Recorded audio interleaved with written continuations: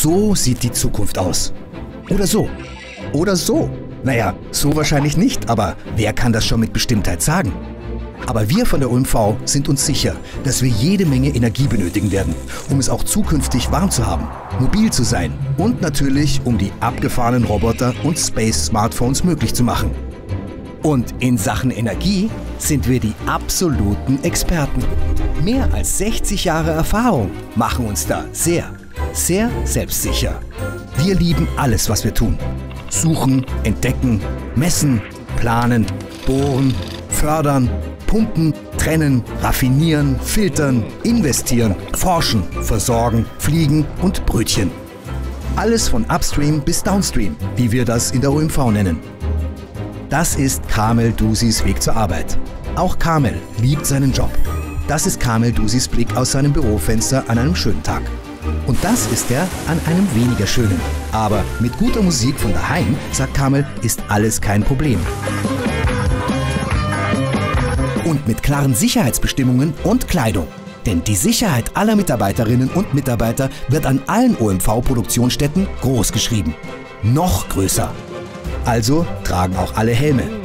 Immer, zu jeder Zeit. Er, sie, er, er und sie. Und apropos, knapp 20.700 Mitarbeiterinnen und Mitarbeiter aus ca. 70 Ländern vertreten die OMV in 25 Ländern.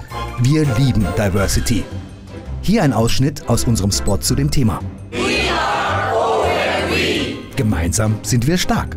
Das ist Alexandra Werner auf dem Weg in die Zukunft. Und das ist ein Blick in Alexandras Büro.